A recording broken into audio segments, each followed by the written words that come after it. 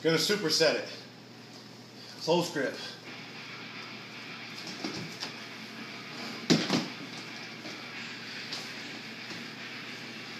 Go hard, go home.